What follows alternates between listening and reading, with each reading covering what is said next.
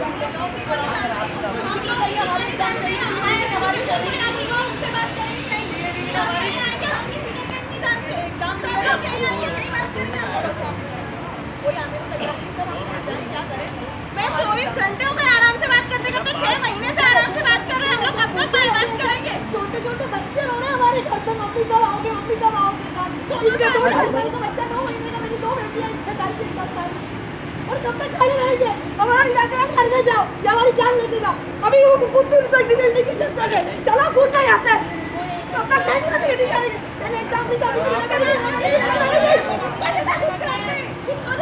चलो आप पकड़ जाओ सर चलो मैडम पकड़ के अंदर बंद करो। और इनको भी बंद करो सबको फ़ीस भरवा दी कॉलेज में हमारी करके नहीं आ बैठे ही चाहिए नहीं बात करेंगे ये